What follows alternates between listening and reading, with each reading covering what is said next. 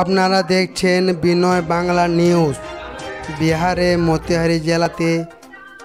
প্রেমিকার বাড়িতে দেখা করার জন্য প্রেমিক এসেছিল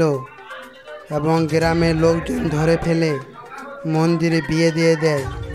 এই ঘটনাটা ঘটেছে বিহারে মতিহারি জেলাতে